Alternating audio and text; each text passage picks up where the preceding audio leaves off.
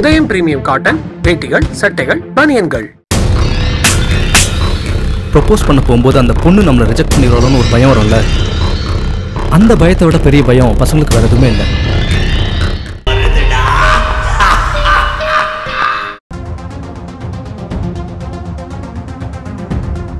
தேச பாதுகாப்பை சீர்குலைக்கும் சைபர் தாக்குதல்கள் அதிகரித்து வரும் நிலையில் தொலைத்தொடர்பு துறையில் இருக்கும் அபாயங்களை தீர்ப்பதற்காக தேசிய அளவிலான ஒருங்கிணைந்த சைபர் பாதுகாப்பு குழுவை அமைக்க மத்திய அரசு முடிவு செய்துள்ளது.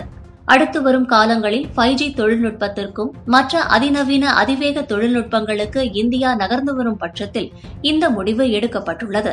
இதற்கான உபகரணங்களை சீனாவோ அல்லது மற்ற நாடுகளிடமிருந்தோ பெறுவது இந்தியாவின் தேச பாதுகாப்பிற்கு சரியானது அல்ல என்பதற்காக மத்திய அரசு நம்பகமான நிறுவனங்களிடமிருந்து உபகரணங்களை பெற திட்டமிட்டு வருகிறது. தேசிய அளவிலான ஒருங்கிணைந்த சைபர் பாதுகாப்பு குழுவோடு கூடுதலாக தொலைத்தொடர்பு துறையில் திறனுடைய இருபது அதிகாரிகள் கொண்ட புது துணைக்குழு ஒன்றை மத்திய அரசு அமைத்து வியூகம் வகுத்துள்ளது.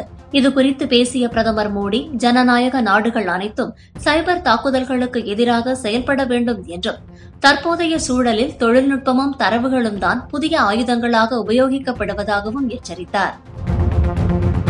கிரிப்டோ நாணயத்தை முழுமையாக தடை செய்ய வேண்டும் என ரிசர்வ் வங்கி மத்திய வங்கி குழு கூட்டத்தில் விவாதித்ததாக ரிசர்வ் வங்கி வட்டாரத்திலிருந்து தகவல் கசிந்துள்ளது. இது குறித்த விரிவான விளக்கத்தை மத்திய வங்கி குழு கூட்டத்தில் ஆர்பிஐ கொடுத்துள்ளதாகவும் நாட்டின் பொருளாதாரத்திற்கும் நிதி ஸ்திரத்தன்மைக்கும் இது பெரும் ஆபத்தை உண்டாக்கும் என்று தெரிவித்துள்ளதாகவும் கூறப்படுகிறது. அதோடு ஆர்பிஐ கவர்னரான சக்திகாந்த தாசும் இதையேதான் தொடர்ந்து வலியுறுத்தி வருகிறார்.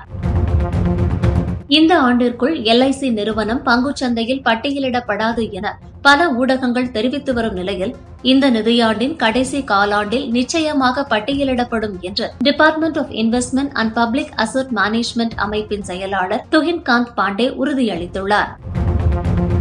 மகாராஷ்டிராவில் பாஜக சிவசேனா அரசின் கீழ் பொதுத்துறை அமைச்சராக இருந்தபொழுது தான் எடுத்த முடிவு திருபாய் அம்பானியையும் பாலா சாஹேப் தாக்கரேவையும் அப்செட் செய்ததாக மத்திய போக்குவரத்து துறை அமைச்சர் நிதின் கட்கரி தெரிவித்தார். இதுகுறித்து பேசிய அவர் மும்பை புனே அதிவிரைவு நெடுஞ்சாலைக்கான டெண்டர் விடப்பட்டதாகவும் தான் அந்த டெண்டரை ரிஜெக்ட் செய்ததால் திருபாய் அம்பானி வருந்தியதாகவும் தெரிவித்தார். இதற்கு ஏன் இப்படி செய்தீர்கள் என்று கேட்ட பால் தாக்கரேவிற்கு பதிலளித்த அவர் மக்களிடம் பணத்தை பெற்று அரசே இந்த நெடுஞ்சாலையை கட்ட முடியும் என்று கூறியதாக தெரிவித்தார். இதனிடையே Maharashtra state roads development corporation என்ற அமைப்பை உருவாக்கி ரிலையன்ஸின் மூன்றாயிரத்தி அறுநூறு கோடி ரூபாய் அதிவிரைவு சாலை டெண்டரை வெறும் ஆயிரத்தி அறுநூறு கோடி ரூபாயை வைத்து தான் அந்த அதிவிரைவு சாலையை அமைத்து சுமார் இரண்டாயிரம் கோடி ரூபாயை அரசுக்கு மிச்சப்படுத்தியதாக பெருமிதம் கொண்டார். இரண்டாயிரத்தி இருபத்தி ஒன்று இருபத்தி இரண்டாம் நிதியாண்டிற்கான பட்ஜெட் உரையில் மத்திய நிதியமைச்சர் நிர்மலா சீதாராமன் இந்த நிதியாண்டிற்கான பிஸ்கல் டெபிசிட் என கூறப்படும் நிதி பற்றாக்குறையை ஆறு புள்ளி எட்டு சதவிகிதமாக நிர்ணயித்தார். அடுத்த நிதியாண்டிலும் இந்த நிதியாண்டைப் போலவேதான் நிதி பற்றாக்குறையை நிர்ணயிப்பதாக கூறப்படுகிறது.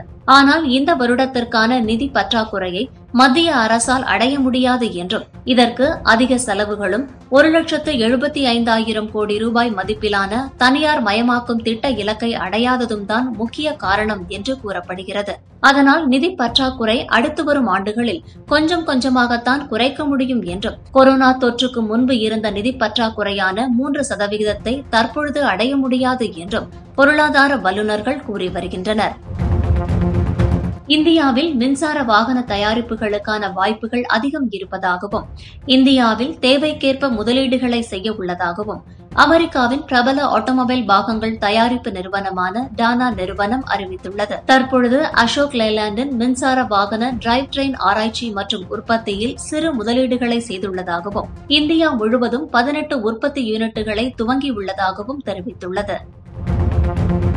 அந்நிய செலாவணி மதிப்பு ஒரு யுஎஸ் டாலர் எழுபத்தி ஐந்து ரூபாய் தொன்னூறு காசுகளாகவும் ஒரு பிரிட்டிஷ் பவுண்ட் நூறு ரூபாய் பதினான்கு காசுகளாகவும் ஒரு யூரோ எண்பத்தி ஐந்து ரூபாய் ஐம்பத்தி ஒரு காசுகளாகவும் உள்ளன.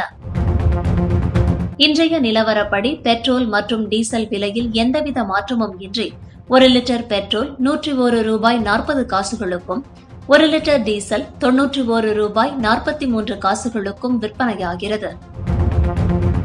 இன்றைய நிலவரப்படி தங்கம் விலை மூன்று ரூபாய் குறைந்து இருபத்தி இரண்டு கேரட் தங்கம் ஒரு கிராம் நான்காயிரத்தி ஐநூற்றி தொன்னூற்றி ஒரு ரூபாய்க்கும் ஒரு சவரன் முப்பத்தி ஆறாயிரத்தி எழுநூற்றி இருபத்தி எட்டு ரூபாய்க்கும் விற்பனையாகிறது.